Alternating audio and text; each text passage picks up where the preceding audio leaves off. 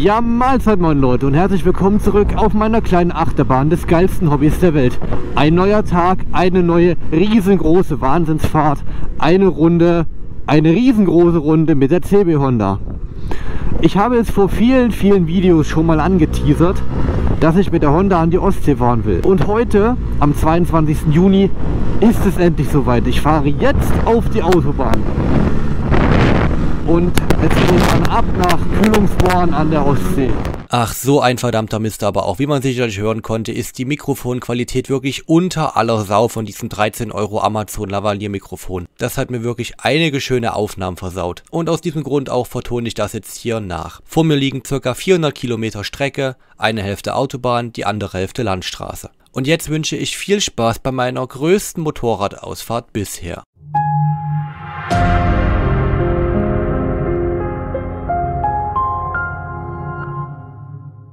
Ich finde diese Brücke auf der R14 über die Saale immer wieder total schön. Und hier habe ich beim Ton wegen dem Wind so einen Anti-Wind-Filter drüber gelegt. Deswegen hört sich das auch später im Video hin und wieder mal so ein bisschen stumpf oder matt, würde ich das beschreiben, an. So, erste Pause nach 180 Kilometern geschafft. Hier gab es jetzt eine schöne Tankstellenbockwurst mit Senf und eine Pinkelpause. Die nächste Pause wird sein ja, Tankpause wird die nächste Pause sein. Wo bin ich denn überhaupt hier? Lüderitz. Der nächste große Ort ist Stendal. Und nach Stendal geht es dann weiter über die B189, irgendwann wieder auf die A14 und dann irgendwie auf die Autobahn nach Schwerin. Mal gucken. Ich habe mir hier aufgeschrieben, wie ich fahren muss.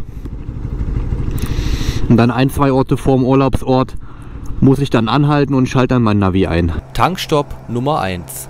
Ich weiß nicht, wie vielte Pause das gerade war. Ich glaube die dritte. Der hat aber mal den Stromkasten schön. Schön weiterarbeiten. ich habe Urlaub. Noch nicht, aber ich bin bald da. 119 Kilometer noch.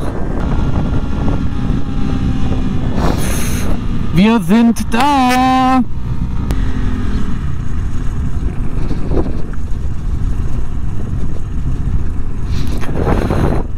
So, ich hätte gesagt, die kleine Honda hat das Meer gesehen. Können wir wieder nach Hause fahren, oder? Ja, ab nach Hause.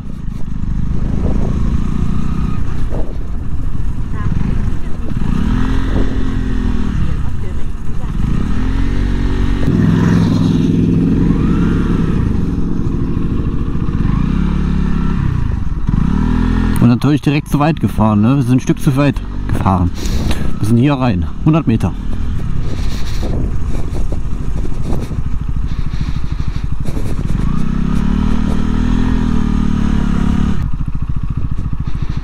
Also ich muss sagen, ein sehr motorradfreundlicher Parkplatz. Nicht.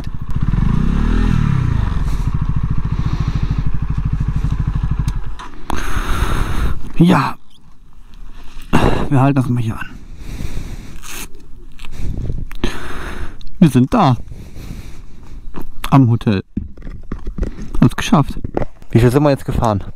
423 Kilometer bin ich gefahren. 15 Kilometer ziehen wir ab für verfahren. Also falsch gefahren. 13,5 Liter Benzin verheizt. Durchschnittlich 76 km/h gefahren. Mit einem Durchschnittsverbrauch von 3,2 Liter. Ist doch ganz gut eigentlich.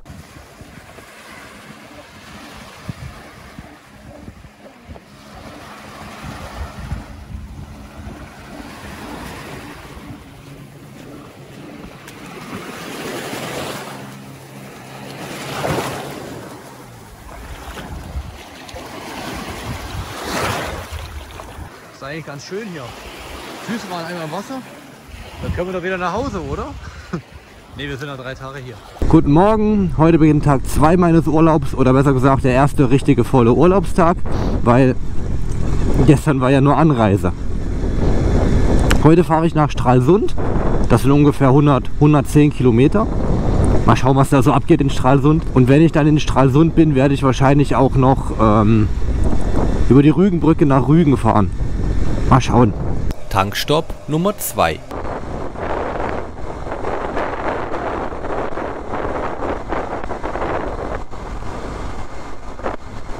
hätte die andere Richtung fahren müssen, dann hätte ich die Eisenbahn sehen können. Schade.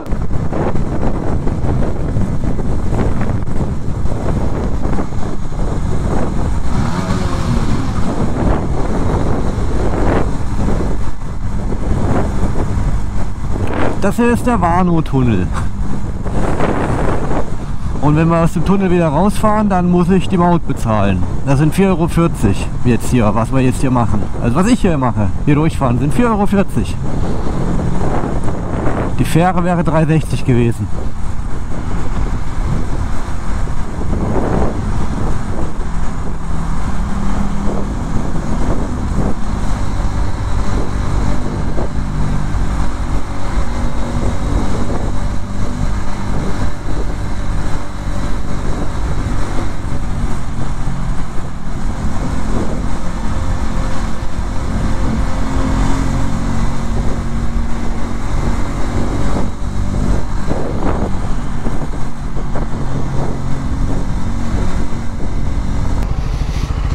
Hallo.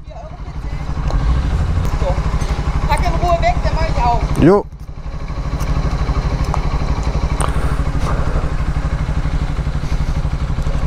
So, Handschuhe an.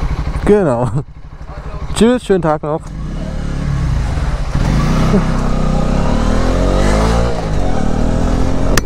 Wow, was? Das Schild gibt es auch hier in Deutschland? Als ob.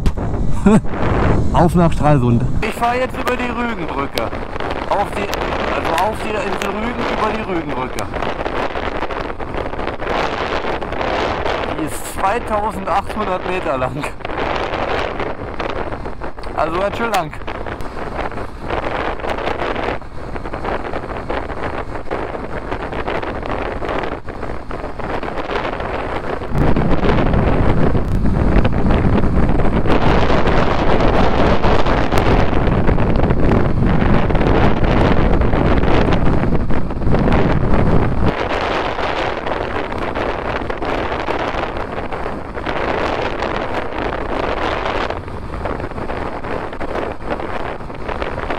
Oh, ist das schön hier. Bier, Honda, Wasser, Brücke, Wertstoffhof, Tankstelle. Ich hätte nicht gedacht, dass ich heute wieder 400 Kilometer fahre. Über 400.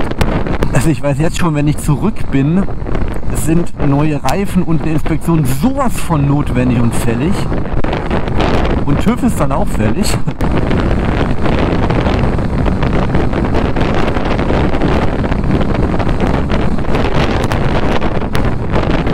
Wunderschön hier. Wie auf Teneriffa.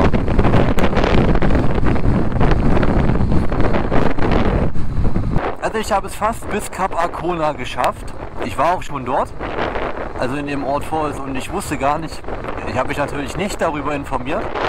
Vor Cap Arcona ist dann so ein großer Parkplatz, wo man parken muss. Und dann muss man die restlichen anderthalb Kilometer dahin laufen. Also da habe ich keinen Bock drauf. Ich habe keinen Bock, anderthalb Kilometer in den Klamotten dahin zu latschen. Die da vorne auf der Adventure Tourer da vorne, die haben beide einen Sena dran. Ich überlege, ob ich jetzt einfach mal auf meinen Sena drücke zum Verbinden und ein bisschen den Leuten auf den Sack gehe. Also, warum nicht, ne? Ich mach's jetzt mal. Ich müsste die Leute da vorne bloß mal dazu bringen, jetzt auch auf ihr Sehner zu drücken. Funktioniert leider nicht. Geht keiner ran. Bitte drückt da einfach mal selber drauf und dann können wir uns verbinden, dann können wir miteinander reden. Das ist doch schön sowas. Oder nicht? Schade, klappt halt. Es kann halt nicht immer klappen. Es sieht so schön aus hier und so toll mit diesen Bäumen hier. Ich habe irgendwie das Gefühl, dass ich hier gar nicht mehr in Deutschland bin, sondern in, keine Ahnung, Kalifornien oder so, wo es auch so Bäume gibt. Oder Teneriffa.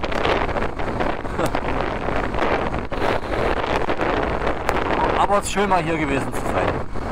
Vorsicht, Otterwechsel.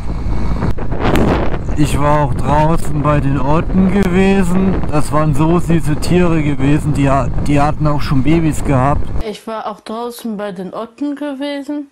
Das waren sehr süße Tiere gewesen. Die, äh, die hatten auch schon Babys gehabt. Aber die Babys, die habe ich nur ganz kurz gesehen. Und ich wollte auch gerne so einen Otten mitnehmen. Aber leider ging das nicht. Und die beißen auch die Otten. Guck mal, Honda, du siehst das Meer. genau wie ich es haben wollte. Die kleine Honda soll das Meer sehen.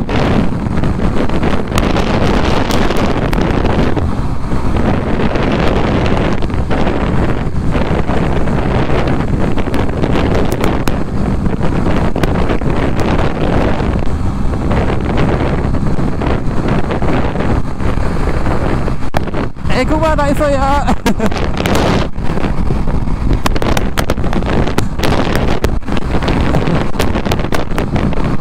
Sieht sehr geil aus, dieser AGV Corsa R. Das war ein sehr guter Kauf. Von der Optik her. Tankstopp Nummer 3. Wie krass das hier aussieht. Das könnte ein Thumbnail werden. Alter, sieht das geil aus hier.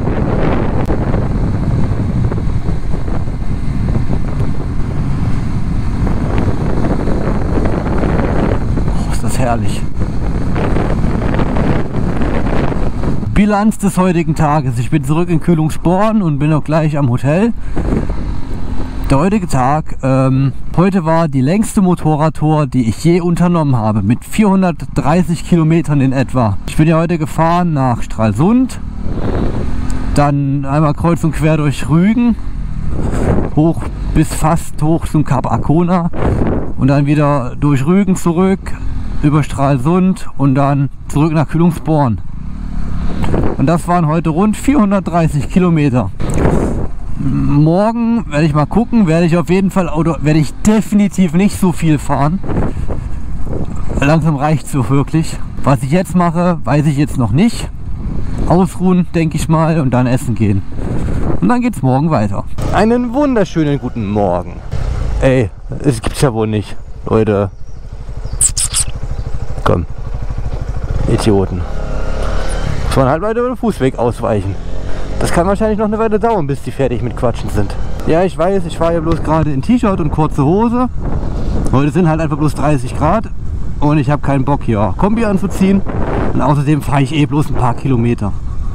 Hier im Ort zur Post und dann will ich mit der Eisenbahn fahren, mit der Molly-Eisenbahn. Nachdem ich gestern nun über 400 Kilometer gefahren bin, werde ich mir heute Avenger Chilltag gönnen. Ich werde mit dem Linksbums mit dem Zug da fahren, nicht mit diesem, sondern mit dieser Dampflok. Molly-Eisenbahn. Danach werde ich zum Karls Erdbeer Erlebnishof fahren, nach Röbershagen, 40 Kilometer ungefähr. Dort Mittagessen, mir diesen ganzen Hof mal wieder angucken. Ich war da vier Jahre lang nicht. Vielleicht auch irgendwas überteuertes da kaufen. Ich weiß schon was. Und dann werde ich nach Rostock-Warnemünde fahren, eventuell eine Hafenrundfahrt machen. Da bis 18 Uhr bleiben, weil dann ein Kreuzfahrtschiff ausläuft. Genau, das mache ich heute. Das ist der Tagesplan für heute. Ich habe das gar nicht mehr in Erinnerung, wie weit wirklich diese Strecke hier einmal diesen, durch diesen Ort ist. Ne? Dieser Hurensohn da vorne hat gerade seine Scheibe sauber gemacht und ich habe die Wichse abgekriegt. Na, hau bloß ab, du.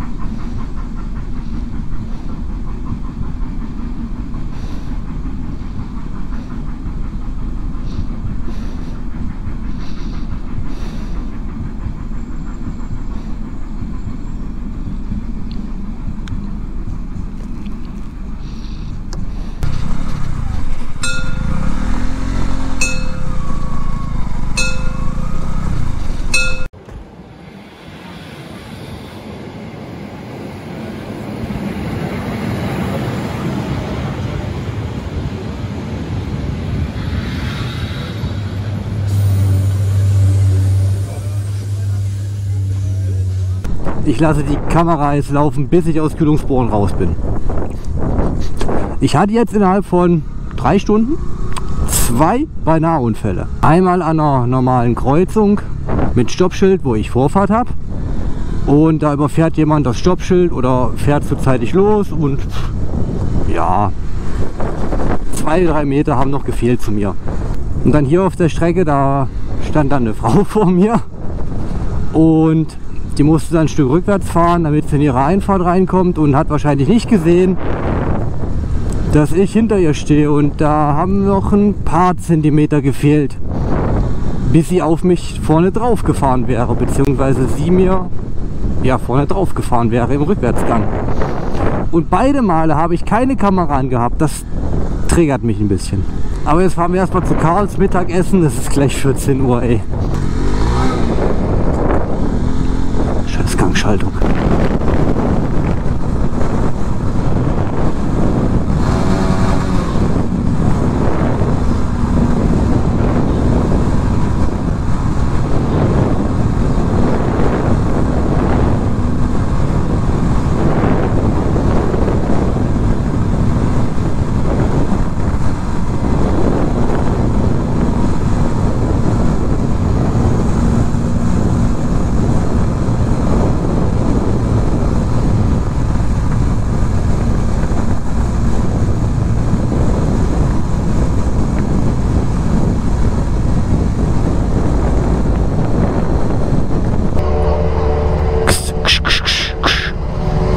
Und deine Viecher da weg. Und fahre ich drüber. Das merke ich gar nicht.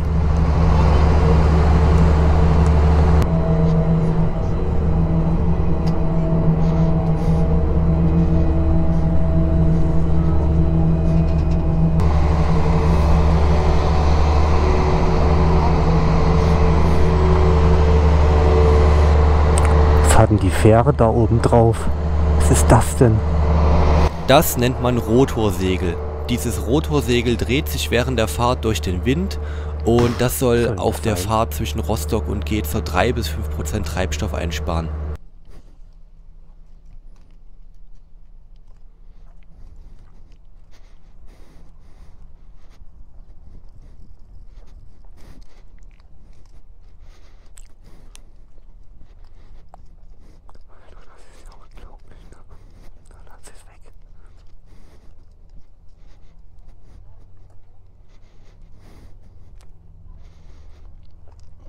Tankstopp Nummer 4.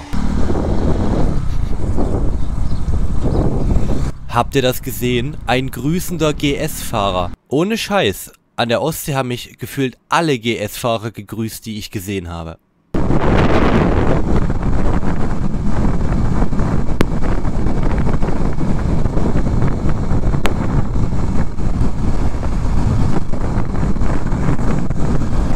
Ich wusste gar nicht, dass der auch so ein E-Highway für LKW ist. Die Dinger, die sehen so tief hängt aus, als ob ich die mit der Hand anpacken könnte, aber die sind halt trotzdem 4 Meter, 5 Meter hoch. Jap.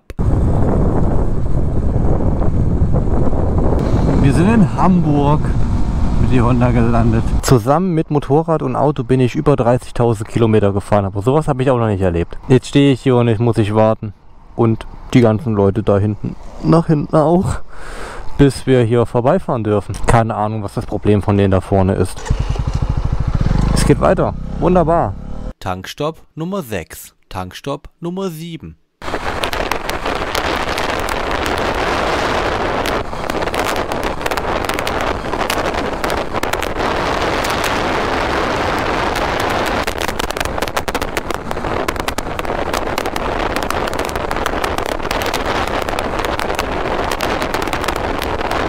Tja, genauso wie das Video ist auch mein Urlaub jetzt zu Ende. In den drei vollen Tagen an der Ostsee plus jeweils einen Tag für An- und Abreise bin ich über 1900 Kilometer gefahren und habe dabei rund 56 Liter Benzin verheizt. Ich werde definitiv nächstes Jahr wieder mit dem Motorrad in den Urlaub fahren und vor allem mit einem besseren Mikrofon. Aber wo es hingeht in den Urlaub, das weiß ich bis jetzt noch nicht. Ein sehr großes Danke geht an alle Leute raus, die sich das Video bis zum Schluss angeguckt haben. Bis zum nächsten Mal, macht es gut, auf Wiedersehen.